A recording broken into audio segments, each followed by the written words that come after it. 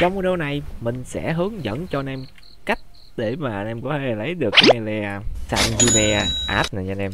Đấy, hay còn gọi là cái melee mới trong update 20 trong lớp phút á. Thì anh em nào mà muốn biết cách để mà lấy như thế nào thì anh em hãy cùng mình theo dõi hết video này để mà biết cách là lấy như thế nào nha. Là như là mình đã giữ lời hứa thôi cho nên là mình sẽ hướng dẫn anh em chi tiết và dễ hiểu nhất có thể nha anh em.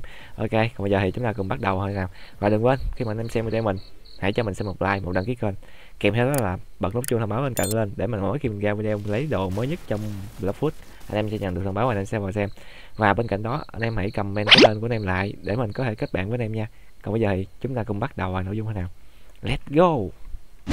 Ok và trước khi mà đến với cách để mà cho anh em có thể lấy được cái uh, cái game melee mới này á thì mình cũng khuyên xin khuyến cáo với anh em đây là một cái melee mà có cái cách lấy rất là khó thậm chí nó nó khó hơn cái uh, God Human rất là nhiều luôn.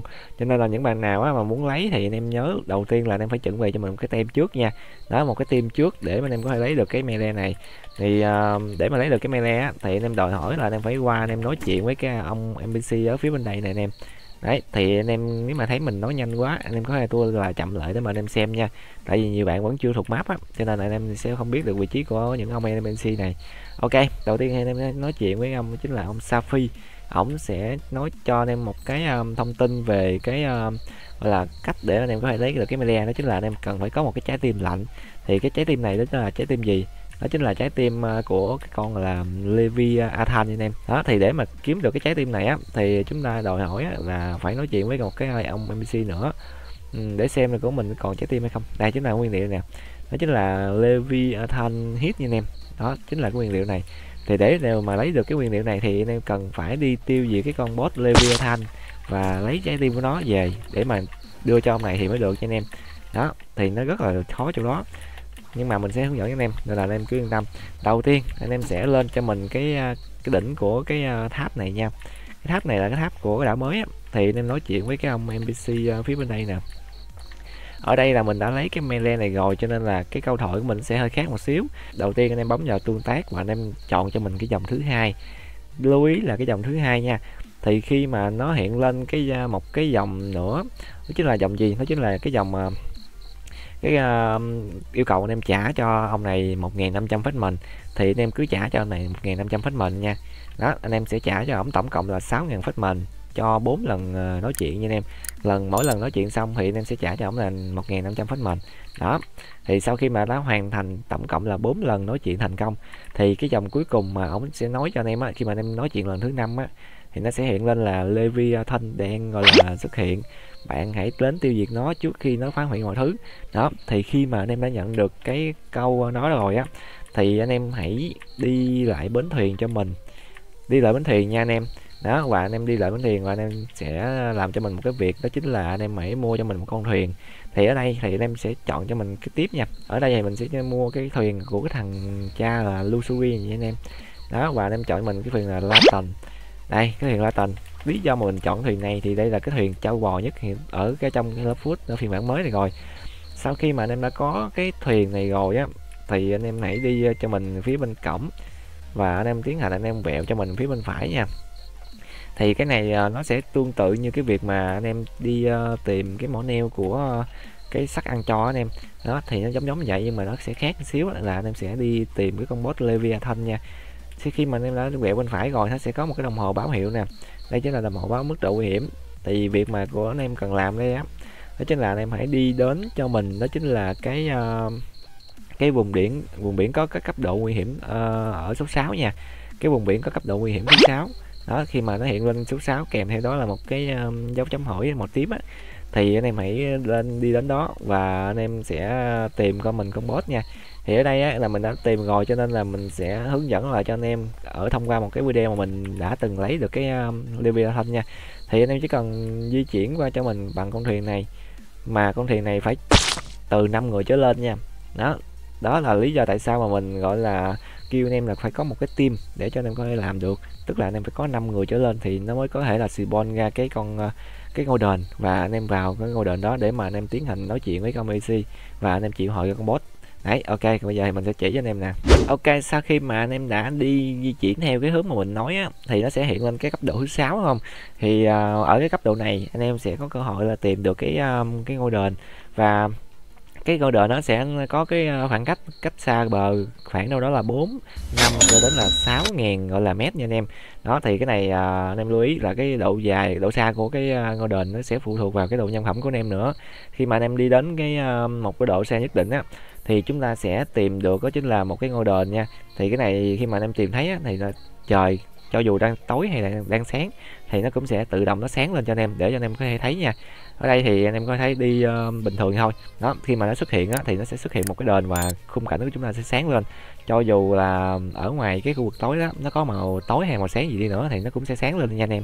Đó và khi, khi mà anh em đã đến được ngôi đền này rồi thì việc tiếp theo mà chúng ta cần làm đó chính là anh em hãy đợi tem của anh em ra. Đợi những người mà đang đi chung với anh em đợi họ lại nha. Và sau đó thì anh em sẽ nói chuyện với các ông npc uh, kế bên nha anh em. Đó ở đây đồng đội mình nói chuyện chứ uh, mình cũng không muốn đâu. Đấy sau khi mà anh em đã nói chuyện xong rồi thì chúng ta sẽ chịu hồi được cái con boss Leviathan nha anh em. Để mà gọi là lấy được cái melee á, thì anh em phải bắt buộc là phải có cái trái tim của Leviathan thì anh em phải tiêu diệt con boss này trước để mà anh em lấy cái vảy của nó. Và sau khi mà anh em đã có vảy của nó rồi anh em tiếp tục về để mà anh em chế tạo cái chiếc thuyền để mà ra câu cái trái tim của con Leviathan này. Đấy thì nó là như vậy nha. Đây mình sẽ hướng dẫn cho anh em để anh em hiểu uh, đơn giản nhất có thể. Tức là đầu tiên anh em sau khi mà anh em đã chịu hỏi được con Leviathan này ở trong một cái um, chiều không gian đặc biệt á thì anh em sẽ phải là tiêu diệt con này trong vòng bao nhiêu đó không cần biết nhưng mà chỉ cần anh em đã tiêu diệt đó là được rồi. Và anh em lưu ý nha nếu mà anh em nào mà lần đầu tiên anh em đánh con này á thì anh em tốt nhất là nên đánh tất cả những cái phần đuôi của nó. Tại vì phần đầu nó sẽ không cho anh em đánh uh, chuối đâu anh em nó chỉ cho anh em đánh phần đuôi thôi. Đấy nó sẽ tóm có tổng cộng là ba cái đuôi nha. Anh em chỉ cần đánh chết ba cái đuôi này của nó anh em sẽ có cơ hội ờ, uh, rơi ra cái uh, số lượng đó chính là cái uh, cái số lượng đó chính là cái số lượng uh, Leviathan Sky. Thì cái số cái uh, vảy của con rồng này anh em nó tên là cái vảy của rồng á nhưng mà mình đọc là tiếng Anh là Leviathan Sky anh em. Thì uh, cái nguyên liệu này nó sẽ có tác dụng đó chính là giúp cho anh em chế tạo chiếc thuyền. Và chiếc thuyền này chính là tên là thợ săn quái vật anh em. Đó chiếc thuyền là của ông uh, Beat Hunter á.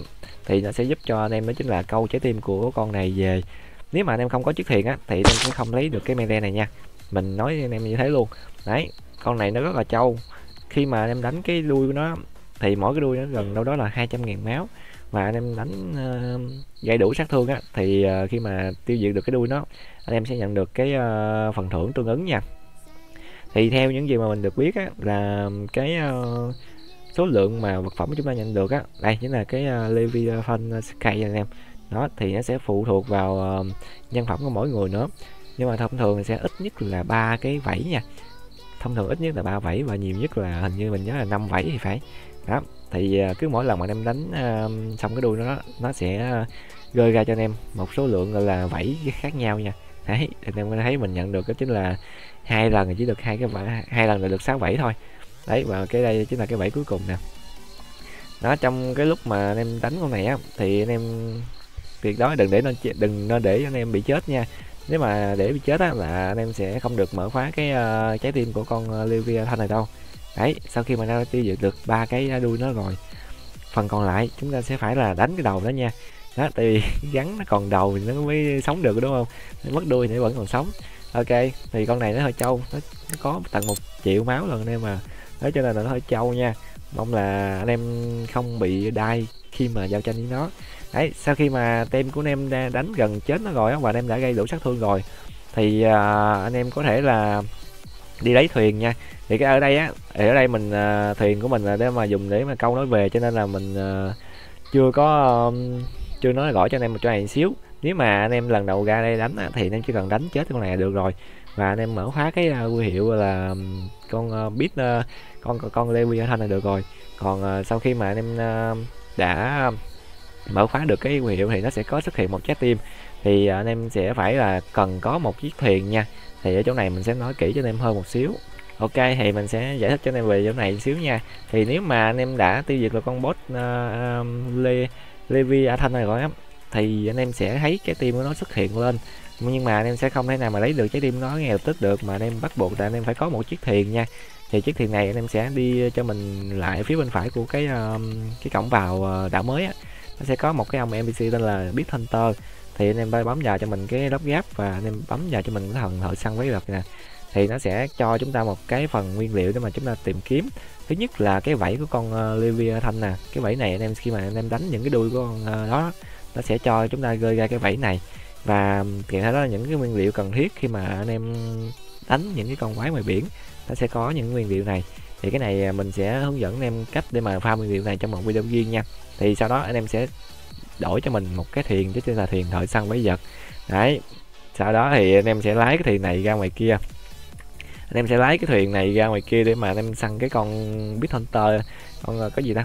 Cái con uh, Le Leviathan nha anh em thì sau khi mà anh em đã có con thuyền này thì anh em lấy ra để mà anh em săn con Leviathan này thay vì anh em lấy cái thuyền bình thường nha đó thì uh, trước khi mà con boss này bị tiêu diệt anh em nhớ là tìm chiếc thuyền này của anh em để mà cho anh em có thể là lái lại gần cái chỗ mà con boss bị tiêu diệt á sau đó thì anh em hãy ngồi lại ngồi trước cái đầu thuyền này anh em nó sẽ có một cái súng mỏ neo đó anh em sẽ bấm nút di chuyển tới hoặc di chuyển uh, xung quanh để mà anh em di chuyển cái uh, cái súng móc này và anh em bấm nút chuột nó sẽ bắn và nó sẽ kéo cái ờ, trái tim này xuống. Đấy, sau khi mà trái tim này đã được thu ờ, đã được bắn trúng rồi thì anh em chỉ cần việc đó chính là lái chiếc thuyền này quay trở về cái đảo mà mới ra là được nha. Tức là anh em sẽ lái theo cái ờ, bảng la bàn mà nó đang chỉ dẫn nè. Đó, thì nó sẽ chỉ dẫn cho anh em cái la bàn và anh em chỉ cần lái thôi thì cái quãng đường mà anh em lái về á thì nó sẽ bằng với cái quãng đường mà anh em tìm thấy cái uh, ngôi đền của con uh, Leviathan này. Nó rất là khó nha. Thì ở đây mình tua cho anh em đợi mất thời gian thôi chứ thật ra là nếu mà muốn di chuyển thì anh em mất mất đâu đó khoảng 5 phút. Đó muốn di chuyển uh, đến uh, từ cái đền về đây á thì sẽ mất khoảng 5 phút nha rất là lâu luôn. Sau khi mà anh em đã lái về đây rồi thì anh em chỉ cần cặp vô bến thuyền thì anh em sẽ nhận được một cái trái tim của Leviathan nha anh em. Đó thấy nằm thấy không? Đó sau khi mà anh em nhận được trái tim này rồi thì việc còn lại của chúng ta đó chính là quay lại cái chỗ mà con npc uh, um, để mà anh em lấy cái uh, melee á. Anh em đi vô đây để mà anh em nói chuyện với con npc này. Đấy ok. Sau khi mà anh em nói chuyện với con npc này thì nó sẽ bắt anh em đó chính là đi farm nguyên liệu cho nó để cho nó có thể chế tạo cái uh, melee cho anh em thứ nhất là 20 cái uh, hỏa hồn farm ở lâu đài bóng tối thứ hai là 20 cái căn nanh farm ở bên ờ, uh, C2 chỗ mà mấy con quái mà cà gồng uh, ở trong cái uh, cái chum của uh, nghĩa địa anh em. Và cái cuối cùng là hai cái nguyên thạch bóng tối nha.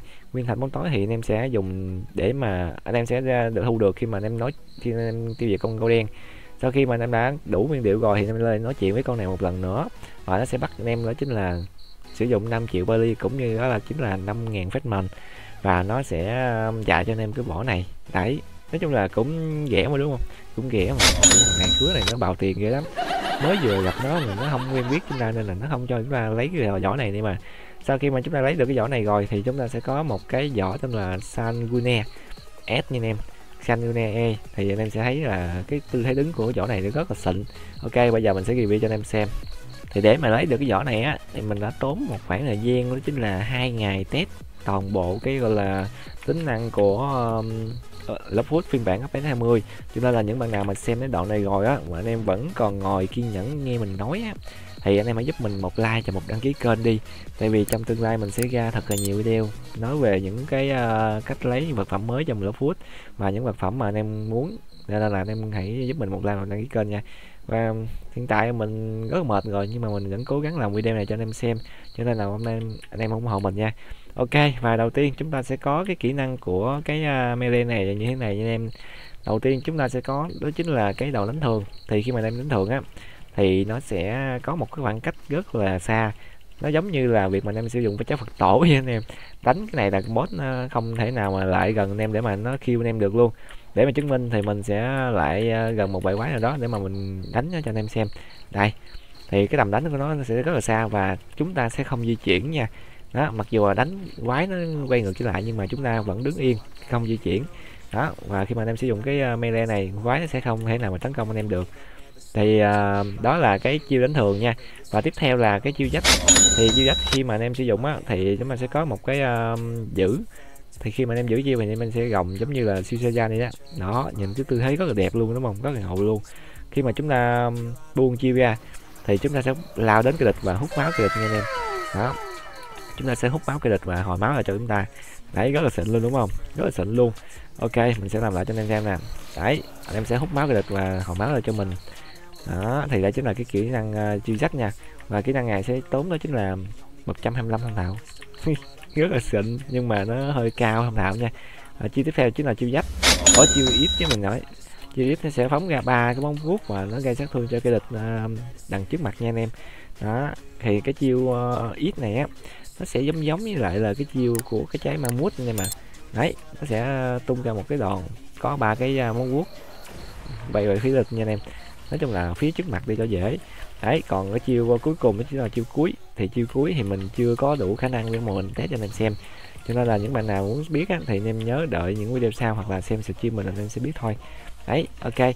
Thì đó là tất tần tật về cách để cho chúng ta có thể là lấy được cái uh, cái MLM mới này. Thì mình xin tóm gọn lại cho anh em trong cái đoạn cuối này là một chỗ chính là đầu tiên á thì anh em sẽ phải là nói chuyện với cái NPC và bán nắm đấm này cho anh em á. Và ổng sẽ cần anh em là đi kiếm cho ổng một cái trái tim của Leviathan đúng không? Thì anh em sẽ đi lên cho mình cái đỉnh uh, tháp này nè. Anh em nói chuyện với ông Messi này và anh em trả cho ổng tổng cộng là 6.000 phách mình. Để cho ổng có thể là báo cho anh em cái tin là con ờ, Leviathan nó có xuất hiện hay chưa đó khi mà ổng không còn đòi tiền anh em nữa tức là anh em đã hoàn thành cái việc là giao dịch rồi. Và sau đó thì anh em sẽ quay xuống đây anh em mua cho mình một chiếc thuyền. Đi ra biển để mà anh em tìm cái ngôi đền của Leviathan và anh em vào tiêu diệt con Leviathan để mà lấy cái dãy của nó. Đấy để mà lấy cái dãy của nó thôi. Lấy dãy của nó và anh em mở khóa trái tim của nó thôi. Đấy sau khi mà anh em đã có vảy của nó rồi và anh em kết hợp với lại một số cái uh, kết hợp với lại một số cái nguyên liệu khác để mà anh em chế tạo ra chiếc thuyền thợ săn quái vật. Chiếc thuyền này nó sẽ có một cái công dụng đó chính là ở trên đầu thuyền á nó sẽ có một cái uh, mỏ neo để dành ờ, cho anh em đó chính là có công công dụng là móc cái trái tim của Leviathan mang về đây để cho anh em có thể là đổi cái uh, phần thưởng nha. Đây thì mình sẽ tiến hành kiểm tra cho anh em xem. Đấy thì lúc nãy mình đã nói rồi đúng không? Đó thì uh, chúng ta sẽ có cái uh, mỏ neo như thế này đó, thì nó sẽ dùng để bắn cái ờ, trái tim của Leviathan nha. Khi mà anh em tiêu diệt con boss xong rồi á, nó sẽ có trái tim lơ lửng cho anh em. Đấy mình em chỉ cần việc là bắn trái tim nó thôi. Và anh em chỉ cần di chuyển theo cái nút lên xuống lên xuống thì nó sẽ thay đổi cái góc bắn cho anh em. Đấy, sau khi anh em bấm nút chuột á, thì nó sẽ phóng ra một mũi tên. Đó, ở đây thì không có con gì hết cho nên là nó không có bắn trúng nha anh em. Đó, thì sau khi mà anh em đã lôi được trái tim của Leviathan rồi, anh em đã đem trái tim đó về đúng ở chân đảo này. Và tuyệt đối em lưu ý là những người mà có tham gia tiêu diệt con Leviathan thì những người đó mới có đủ điều kiện để mà lấy cái uh, trái tim của nó nha. Đấy ok thì khi mà anh em đã làm xong những điều đó rồi anh em hãy quay lại nói chuyện với con NPC trong cái à, ngục giam kia là được là chúng ta sẽ chính thức có thể là đủ điều kiện để mà lấy được cái nắm đấm. Và tiếp tục là anh em chỉ cần đi farm nguyên liệu là đủ rồi. Ok thì nếu mà anh em xem tới khúc này rồi và anh em vẫn chưa like chưa đăng ký kênh thì anh em hãy giúp mình một like, một đăng ký kênh nha. Video này hơi dài, nhưng mà nó có đầy đủ những ý mà anh em cần. Cho nên là anh em hãy giúp mình điều đó, rất là cần thiết. Khi mà được 80.000 người đăng ký rồi, thì mình sẽ làm một cái stream tặng ờ, game pass vĩnh viễn cũng như là trái vị vĩnh viễn cho anh em. Cho nên là mong anh em ủng hộ nha. Còn bây giờ thì chúc anh em một ngày mới vui vẻ, ơn vang. Bây giờ mình sẽ đi random một bạn may mắn ở trong video lần trước để mà kết bạn với anh em chứ. Let's go! Và những bạn nào mà hôm trước mà xem xong video kia của mình á mà em chưa ra chưa đăng ký kênh chắc giờ em tức lắm. Tại vì em không biết cách lấy như thế nào hết. Thì mình, mình có thấy là nhiều kênh uh, làm rồi nhưng mà họ đa số là họ lấy những cái uh, đoạn quan trọng thôi họ không có hướng dẫn chi tiết cho nên là mình hướng dẫn chi tiết cho em luôn đó. Nên là mong là em ủng hộ nha. Bạn này tên là Vương Lê để xem là bạn này trong game tên là gì nha. Nếu bạn nào mà có comment tên của em á thì mình sẽ gửi mời các bạn cho anh em và em chỉ việc là vào chấp nhận thôi cho nên là những bạn nào mà không chấp nhận lời mời sẽ được nhường cho những bạn sau nha. Đấy cho nên là những bạn nào có muốn kết bạn thì anh em hãy like đăng ký kênh và comment tên của anh em nha. Ok chúc anh em ngày mới vui vẻ. Hẹn lại anh em vào những video lần sau và cảm ơn những bạn uh, như là này đã góp mặt trong video của mình nha. Đấy nếu mà anh em có kết bạn của mình thì anh em sẽ được uh, lên tivi theo hình thức giống như thế này nha anh em. Ok bye bye anh em. Hẹn lại anh em vào những video tiếp theo. Bây giờ thì nghỉ ngơi thôi mệt quá cho mệt rồi. Bye bye.